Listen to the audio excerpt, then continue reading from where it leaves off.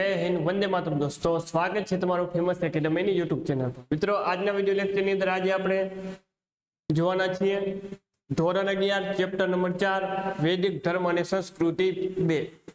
Okay, આપણે ઇતિહાસમાં હવે આગળ વધી રહ્યા છીએ. અને આજનો આપણો ખૂબ જ અગત્યનો લેક્ચર રહેવાનો છે, નામ છે મિત્રો વૈદિક ધર્મ અને સંસ્કૃતિ ભાગ બે.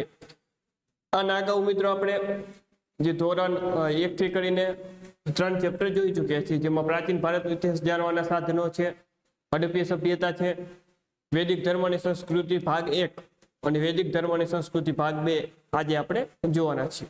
ચાલો મિત્રો શરૂઆત કરી દઈએ.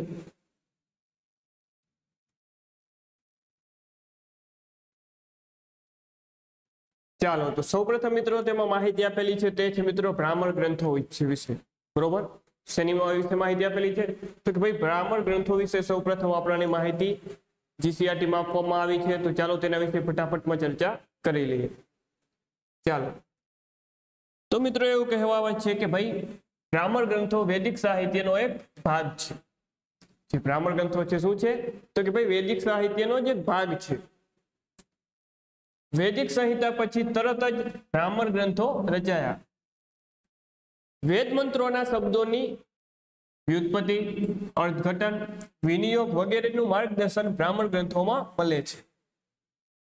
ત્યારબાદ આગળ વધીએ. કે ભાઈ વૈદિક સાહિત્યમાં ગદ્ય સ્વરૂપે લખાયેલ આ ગ્રંથોમાં વેદ સંહિતાની સમજૂતી અને તેના પરની ટીકાઓ આપવામાં આવી છે. વિદ્વાનોના મતે દરેક વેદની શાખા માટે એક એક બ્રાહ્મણ હતો. તેમાં ઋગ્વેદ સંહિતા માટે એતરેય બ્રાહ્મણમાં જુદા જુદા યજ્ઞોનું વિસ્તૃત વર્ણન છે. યજુર્વેદ સંહિતા માટે સતપથ અને તેતરીય બ્રાહ્મણ છે. તેમાં સતપથ બ્રાહ્મણ શુક્લ યજુર્વેદ માટે છે. તે સતપથ બ્રાહ્મણ કોના માટે છે? કયા વેદ માટે છે? ભાઈ, યજુર્વેદ માટે છે. બધા બ્રાહ્મણ ગ્રંથોમાં તે સૌથી મહત્વનો વિશાળ ગ્રંથ છે. તેમાં પિતૃ, સોમ, રાજસૂર્ય વગેરે યજ્ઞોનું વિસ્તારથી વર્ણન છે. તેમજ પ્રાચીન ભારતના રાજાઓના નામ અને ચરિત્રોના વર્ણન પણ આમાં આપેલા છે. તેમાં આગળ વધીએ તો તે યાજ્ઞવલ્ક્ય ઋષિએ લખ્યા હોવાનું માનવામાં આવે છે. ઓકે શું? તો કે સતપથ જે બ્રાહ્મણ નામનો ગ્રંથ છે તે કોના દ્વારા લખવામાં આવ્યો છે? તો કે ભાઈ, યાજ્ઞવલ્ક્ય ઋષિ દ્વારા. ચાલો, હવે આપણે આગળ વધીએ. ત્યારબાદ મિત્રો વાત કરીએ, જ્યારે તેત્રીય બ્રાહ્મણ કૃષ્ણ યજુર્વેદ માટે છે. કોના માટે છે? કૃષ્ણ યજુર્વેદ માટે છે. સામવેદ સંહિતા માટે અલગ અલગ આઠ બ્રાહ્મણ ગ્રંથોની રચના થઈ છે. તેમજ અથર્વવેદ સંહિતા માટે ગોપપથ બ્રાહ્મણ છે, જેમાં ગાયત્રી માટેની સમજૂતી દર્શાવવામાં આવી છે. આમ બ્રાહ્મણ ગ્રંથમાં યજ્ઞ ક્રિયાના વિસ્તૃત વર્ણન સાથે વૈદિક સમયના ભારતીય સમાજના રીત રિવાજ આધ્યાત્મિક તેમજ તાત્વિક વિચારધારા વિશેની માહિતી પ્રાપ્ત થાય છે. ત્યારબાદ મિત્રો ત્યારબાદનો મુદ્દો મિત્રો આપણે જોવાનો છે તે છે મિત્રો આરણ્યકો ઓકે આરણ્યકો ઓકે? વૈદિક સાહિત્યમાં સંહિતા અને બ્રાહ્મણ ગ્રંથો પછી આરણ્યકોની રચના થઈ. આર્યોએ તેમના જીવનના અંતિમ ભાગમાં, તેમના જીવનના અંતિમ ભાગમાં અરણ્યમાં કરેલા ચિંતન મનનના ફળ રૂપે રચાયેલા ગ્રંથોને આરણ્યકો કહે છે. આપણને ખબર છે કે ભાઈ અરણ્ય, અરણ્યનો મતલબ થાય. મિત્રો, તેનો સામાનાથી શબ્દ છે જંગલ અથવા તો વન. કે ભાઈ જે અરણ્યમાં રહેનાર રહેનાર રહેનાર વાનપ્રસ્થી અને મુનિઓ માટે બહુ સરળ યજ્ઞોનું તેમની જીવનચર્યા તેમજ ભ્રમ વગેરેનું ચિંતનાત્મક વિવેચન કરેલ છે. અહીં યજ્ઞના કાંડ સાથે આધ્યાત્મિક સ્વરૂપ વિશે વિવેચન અપાયેલું છે. ભ્રમ અને આત્માના તત્વજ્ઞાનનો ઉપદેશ આ અરણ્યકોમાં અપાયેલો છે. આમ આધ્યાત્મિક અને તાત્વિક દ્રષ્ટિએ તેનું વિશેષ મહત્વ છે. ઋગ્વેદના એતરીય અને સખાયન અરણ્ય આરણ્યક શુક્લ, યજુર્વેદના મધ્યાદિન બૃહદારણ્યક અને કર્મ બૃહદારણ્યક તેમજ જેમિનીય નિષદ આરણ્યકો છે. આવી બધી માહિતી છે મિત્રો. ચાલો, ત્યારબાદ આગળ વધીએ. ત્યારબાદ મિત્રો છે કે ભાઈ ઉપનિષદમાં વર્ણવાયેલ આધ્યાત્મિક વિચારધારા એટલે તો ઉપનિષદ શું મિત્રો? ઉપનિષદ, એટલે કે ઉપ પ્લસ નિષદ. ઉપ એટલે પાસે અથવા સમીપ. ઉપનો મતલબ શું થાય? પાસે અથવા તો સમીપ, એટલે કે નજીક. અને નિષદનો મતલબ થાય બેસનારો, એટલે કે આનો આખે આખો શું થાય ઉપનિષદનો? તો કે ભાઈ પાસે બેસનારો એટલે કે ઉપનિષદ. આ રીતે ઉપનિષદનો શાબ્દિક અર્થ ગુરુ અથવા પરમ તત્વના ચરણોમાં બેસીને રહસ્યમય કે ગુઢ જ્ઞાન મેળવવું. એવો આનો મતલબ થાય છે. જે ઉપનિષદ માટે અમુક વિવેચકો સદ ધાતુનો ગતિ અને નાશ એમ બંને અર્થ કરે છે. ત્યારબાદ આગળ વધીએ, એટલે કે અજ્ઞાનનો નાશ કરીને પરમ તત્વ કે જ્ઞાન તરફ ગતિ કરાવનાર શાસ્ત્ર એટલે ઉપનિષદ. એવો અર્થ પણ થાય છે કે વૈદિક સાહિત્યના અંત ભાગમાં ઉપનિષદોની રચના થઈ. આથી તેને વેદાંત કે વેદનો છેડો પણ કહેવામાં આવે છે. ઉપનિષદ છે તેને વેદનો શું કહેવામાં આવે છે? તો કે ભાઈ વેદોનો છેડો કહેવામાં આવે છે આ ઉપનિષદોને. ક્લિયર છે? ચાલો. ત્યારબાદ આપણે આગળ વધીએ.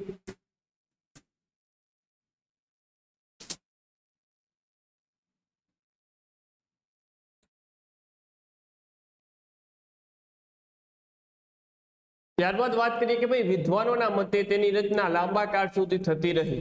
કોની તો કે ભાઈ ઉપનિષદની.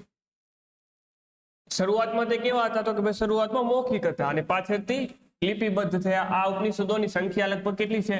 કે એકસો છે. ઉપનિષદોની સંખ્યા કેટલી છે? એકસો છે. સૌથી મોટો ઉપનિષદ કયો છે? તો કે ભાઈ બૃહદારણ્ય. જેમાંના મુખ્ય ઉપનિષદો નીચે પ્રમાણે છે. ઓકે, આ બધા ઉપનિષદો આપણે જોઈ શકીએ છીએ. ઈસોપ, ઈસોપનિષદ છે, પ્રશ્નોપનિષદ છે તેતરીય ઉપનિષદ છે. ઓકે, આવા બધા અલગ અલગ છે. આપણા માટે અગત્યનો કયા છે? ઉપનિષદ બે છે. એક છે મિત્રો આ મુંડકોપનિષદ અને બીજો છે મિત્રો બૃહદારણ્ય બૃહદારણ્ય સૌથી મોટો ઉપનિષદ છે. ત્યારે મુંડક ઉપનિષદમાંથી ઓકે, જે આપણું સત્યમેવ જે જે આ વાક્ય છે તે ઓકે, આમાંથી લેવામાં આવ્યું છે. ચાલો.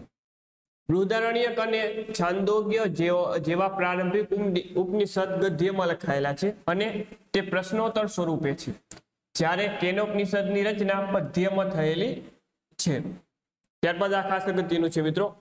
શંકરાચાર્યનો અદ્વૈતવાદ શંકરાચાર્યનો અદ્વૈતવાદ. માધવાચાર્યનો દ્વૈતવાદ. માધવાચાર્યનો દ્વૈતવાદ. રામાનુજાચાર્યનો વિશિષ્ટ દ્વૈતવાદ. રામાનુજાચાર્યનો વિશિષ્ટ દ્વૈતવાદ મહાન કૃતિઓ, ઉપનિષદની વિચારધારાની ફળશ્રુતિ છે. ઓકે, ત્યારબાદ આગળ વધીએ તો કે ભાઈ ગાર્ગી, લોપામુદ્રા, મૈત્રીય, જાંબાલી ઘોષા વિશ્વભરા, અપાલા વગેરે મહિલાઓ ઉપનિષદના આધ્યાત્મિક વિચારોના પરિણામે વિદુષી બની હતી. આ મિત્રો ખાસ યાદ રાખશો કે ભાઈ શંકરાચાર્યનો આ બધા જે સિદ્ધાંત આપવામાં આવ્યા છે તે ખાસ અગત્યના છે. ચાલો આગળ વધીએ.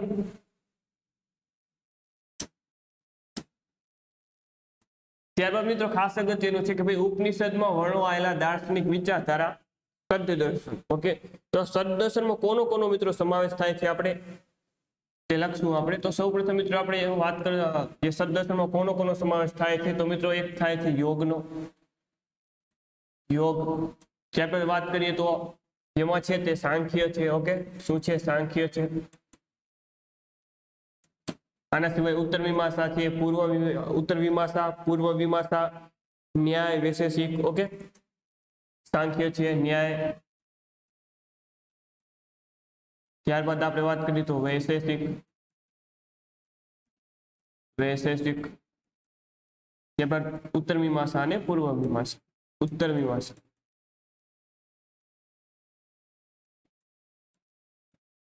ઉત્તર મીમાંસા અને છેલ્લે લખીએ આપણે પૂર્વ મીમાંસા. મીમાંસા. ઓકે, ઉત્તર મીમાંસા અને પૂર્વ મીમાંસા. મિત્રો આના રચયિતા પૂછાય છે, આ છે મિત્રો સડ દર્શન. શું છે? સદ દર્શન. ઓકે? તો મિત્રો, યોગ. તો યોગના રચયિતા કોણ છે મિત્રો? તો તે છે મિત્રો બાબા રામદેવ નહીં પરંતુ પતંજલિ. કોણ છે? પતંજલિ. આના રચયિતા છે મિત્રો પતંજલિ સાંખ્ય તો મિત્રો આ સાંખ્યના રચયિતા કોણ છે તો એ છે મિત્રો મહર્ષિ કપિલ કોણ છે મહર્ષિ કપિલ મિત્રો આ યાદ રાખવાનું છે તમામ ન્યાય તો ન્યાયના રચયિતા કોણ છે તે છે મિત્રો મહર્ષિ ઓકે મહર્ષિ ઓકે જો મહર્ષિ કોણ આવશે ગૌતમ ન્યાયમાં ન્યાયમાં આવશે મિત્રો ગૌતમ મહર્ષિ ગૌતમ મહર્ષિ ગૌતમ વૈશેષિક વૈશેષિકના રચયિતા કોણ છે મિત્રો? તે છે મિત્રો મહર્ષિ કણાદ કોણ છે? મહર્ષિ કણાદ ઉત્તર મીમાંસા. ઉત્તર મીમાંસાના રચયિતા કોણ છે? તો કે ભાઈ જૈમિની. મહર્ષિ જૈમિની. ત્યારબાદ આવે છે મિત્રો પૂર્વ મીમાંસા. તો પૂર્વ મીમાંસાના રચયિતા જે કોણ છે? પૂર્વ મીમાંસાના મિત્રો રચયિતા કોણ છે? તો છે મિત્રો તે છે બાદરાયણ. કોણ છે? બાદરાયણ. તો મિત્રો, આ છે આપણા ઓકે? જે સદદર્શનમાં છ છનો સમાવેશ થાય છે, ઓકે? તમે જોઈ શકો છો. ઓકે, સાંખ્ય છે, ન્યાય છે, પૂર્વ મીમાંસા યોગ, વૈશેષિક. ઓકે, આ તમામનો જે સમાવેશ છે તે સદદર્શનમાં થાય છે. તો આના મિત્રો નામ યાદ રાખવાના છે ને તેના રચયિતાના નામ આપણે યાદ રાખવા પડશે. ચાલો, આગળ વધીએ મિત્રો. તો પેલું જ મિત્રો, આપણે સાંખ્ય દર્શન વિશે ડિટેલમાં જોઈશું હવે. જીસીઆરટી માં આપણને આપી દીધું છે સાંખ્ય દર્શન વિશે. તો ડિટેલમાં જોઈએ સાંખ્ય દર્શન. શું જોશું આપણે? સાંખ્ય દર્શન વિશે ડિટેલમાં.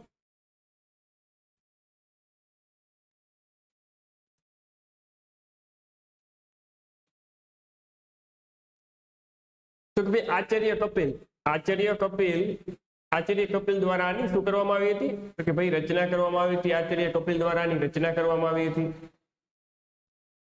આચાર્ય કપિલ દ્વારા રચના કરવામાં આવી હતી. ઓકે ભારતીય દર્શનોમાં અત્યંત મહત્વનું સ્થાન ધરાવે છે. આ દર્શન અને સાંખ્ય દર્શન કહેવા પાછળ બે મત પ્રચલિત છે. કયા બે બે મત પ્રચલિત છે?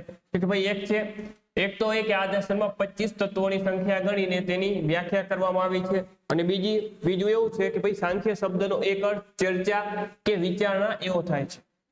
ચર્ચા કે વિચારણા એવો થાય છે, તેથી આ સૃષ્ટિમાં તત્વોનો સમ્યક વિચાર આ દર્શન કરતો હોવાથી તેને સાંખ્ય દર્શન સાંખ્ય દર્શન કહેવાય છે.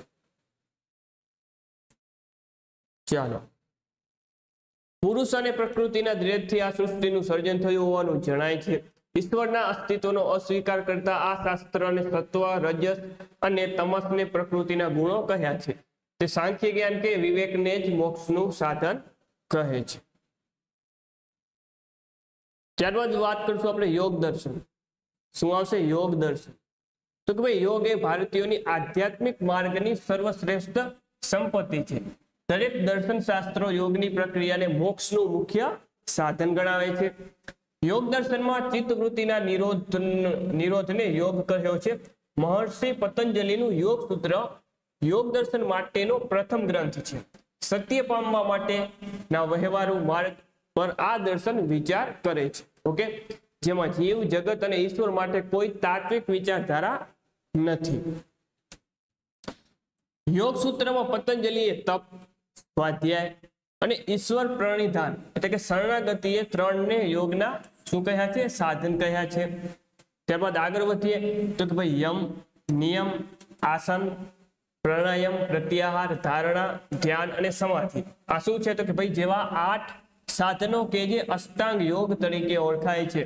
મિત્રો પ્રશ્ન પૂછાય કે નીચેનામાંથી કોનો અષ્ટાંગ યોગમાં સમાવેશ થાય છે અથવા થતો નથી? તો પ્રશ્ન પૂછાઈ શકે છે. ત્યારબાદ આગળ વધીએ તો ભાઈ આ અષ્ટાંગ યોગમાં પ્રથમ પાંચ પ્રથમ પાંચ એટલે કે યમ, નિયમ આસન આસન, પ્રાણાયામ અને પ્રત્યાહાર. બહિરંગ બહિરંગ એટલે કે શરીર સાથે જોડાયેલા સાધનો છે. જ્યારે ત્યાર પછીના જે ત્રણ છે એ ત્રણ કયા છે? તો કે ભાઈ ધારણા, ધ્યાન અને સમાધિ એ અતરંગ એટલે કે મન અને આત્માનું સાધન છે. અષ્ટાંગ યોગનું અંતિમ ચરણ સમાધિ જે યોગની સર્વોત્કૃષ્ટ અવસ્થા ગણાય છે. ઓકે? જેમાં ધ્યાતા ધ્યાતા એટલે કે ધ્યાન કરનારાને ધ્યેય એકરૂપ બની જાય છે.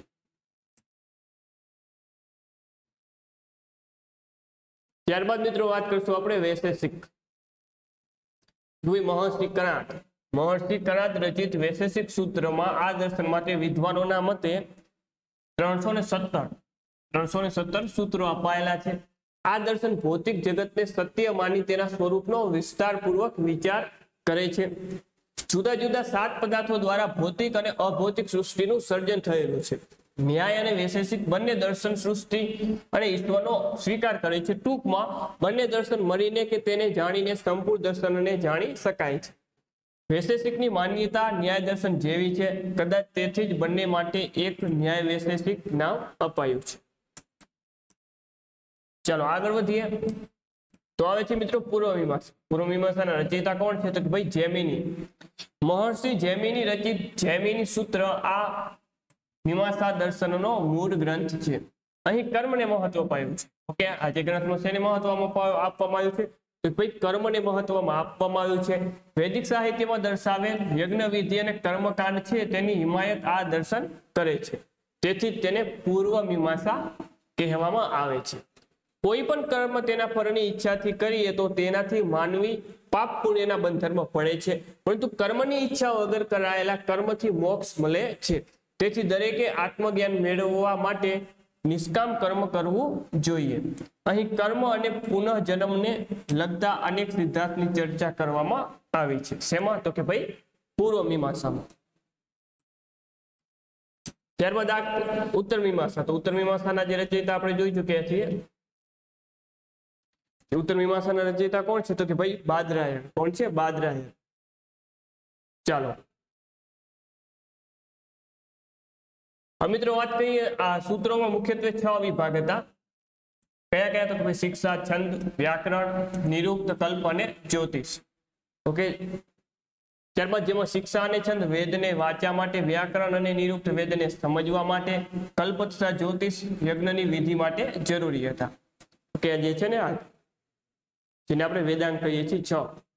આ સૂત્ર સાહિત્યમાં સ્ત્રોત સૂત્ર, ગૃહ સૂત્ર અને ધર્મ સૂત્ર મુખ્ય હતા. જ્યારે સુલ્વ સૂત્રોનો કલ્પસૂત્રમાં સમાવેશ થાય છે. સ્ત્રોત સૂત્રમાં યજ્ઞાદિ કર્મકાંડ વગેરેનું વર્ણન છે. ગૃહ સૂત્રમાં માનવીના વિવિધ સંસ્કારો અને ધાર્મિક વિધિનું વર્ણન છે. સુર્વ સૂત્રમાં સુલ્વનો અર્થ માપવાની દોરી એવો થાય છે, જેમાં યજ્ઞવેદી બનાવવાની રીત તેમના માપ ગણનાનું વર્ણન છે. ચાલો, ત્યારબાદ આગળ વધીએ. ઓકે. તો મિત્રો આ ચેપ્ટર હતું આપણું વૈદિક ધર્મ અને સંસ્કૃતિ ઓકે થોડું ઘણું આમાં મિત્રો યાદ રાખવાનું છે. ખાસ તો જે છડ દર્શન છે, તેના નામ અને તેના રચયિતા યાદ રાખવાના છે. બાકી ખાસ કયામાં અગત્યનું મિત્રો યાદ રાખવાની જરૂર નથી. મોસ્ટ ટાઈમ ખાલી આપણા માટે અગત્યનું કોષ્ટક છે કે ભાઈ છડ દર્શન અને તેના રચયિતા. બાકી તો ખાલી થોડું ઘણું સમજવાનું તો એ આપણે જોઈ લીધું. નેક્સ્ટ વિડીયોમાં મિત્રો આપણે જોવાના છીએ. શું જોવાના છીએ? ખાસ અગત્યનું ચેપ્ટર જૈન ધર્મ અને બૌદ્ધ ધર્મ ઓકે ખાસ અગત્યનું ચેપ્ટર થયું કે લગભગ બે માર્ક્સનો પ્રશ્ન આમાંથી બે પ્રશ્ન પૂછાઈ શકે છે પોલીસ કોન્સ્ટેબલની એક્ઝામમાં તો આપણે નેક્સ્ટ વિડીયોમાં જોઈએ જૈન ધર્મ અને બૌદ્ધ ધર્મ. ફરીથી નેક્સ્ટ વિડીયોમાં. ચર્ચા જય હિન્દ, વંદે માતરમ.